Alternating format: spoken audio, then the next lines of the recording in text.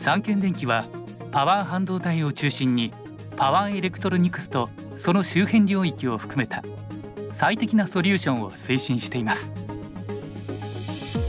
例えば1台の車の中には100個以上ものサンケン電気の半導体デバイスが採用。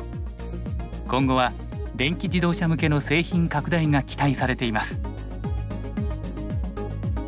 家庭内で使用されるさまざまな白物家電や生活関連製品。AI や IoT を取り入れたスマートファクトリーの構築など最先端技術への取り組みにも力を入れています。このパワーエレクトロニクスをコアビジネスにサンケン電気はこれまで70年以上にわたり企業成長と社会貢献を続けています。三軒電機の半導体製品は国内外の生産拠点で各工程を分担し高品質高性能な製品を製造しています。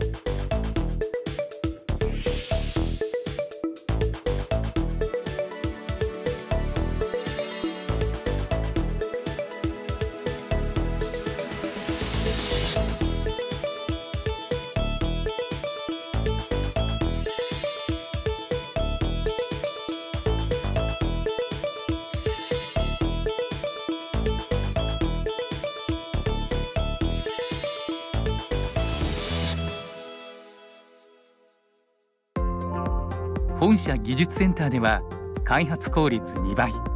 開発期間2分の1を目指した効率的な開発を実現するためにオフィスをリニューアル。デスクのフリーアドレス化集中エリアと競争エリアでフロアを分けるなどより働きやすさを追求したオフィスに進化しました。こちらはものづくり開発センター。パッケージラボエリア。パイロットラインエリア。製品検証エリア。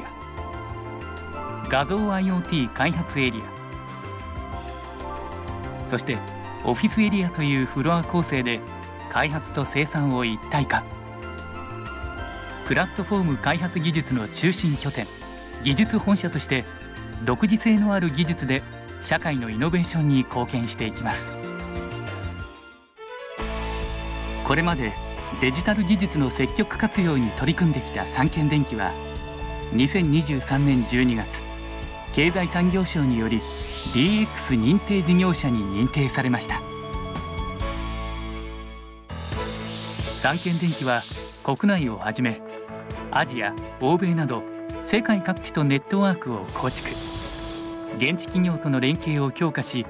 迅速な製品開発と製品サポートに取り組んでいます。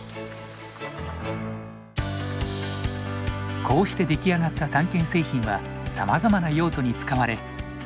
エコ省エネ高効率化に寄与することで CO2 排出量の削減にも貢献しています。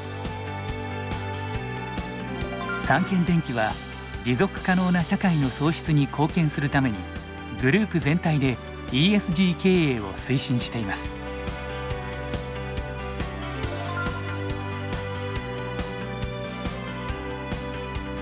こうした取り組みが企業の社会的責任及び新たな価値創造の源となり次世代に対する責任を果たしていくことにつながっていくと私たちは考えています。